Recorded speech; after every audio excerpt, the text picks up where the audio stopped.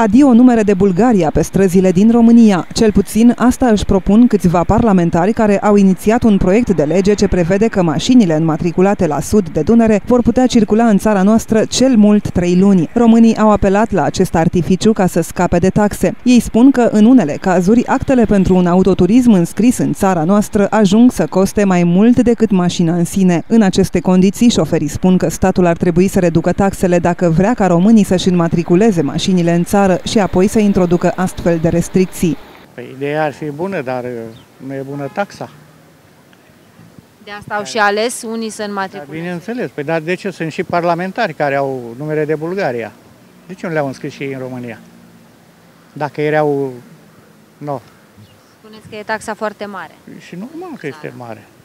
Și de asta nici, nici bani nu se strâng la bugetul de stat.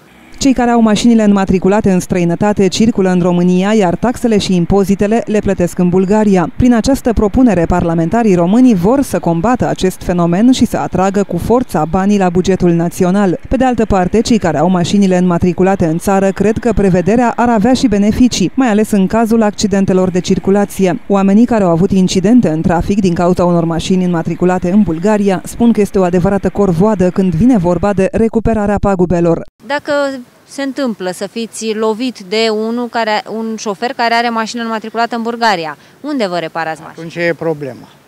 La mica înțelegere. Am avut uh, problema asta.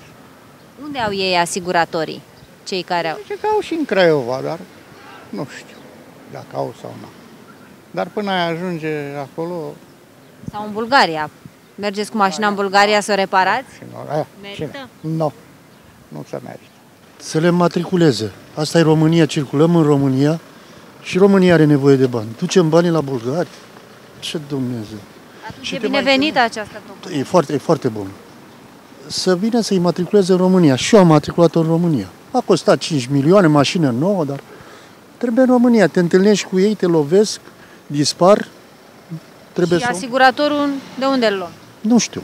Această prevedere ar putea fi însă declarată neconstituțională chiar înainte să fie aprobată, pe motiv că interzicerea înmatriculărilor numai în Bulgaria este discriminatorie.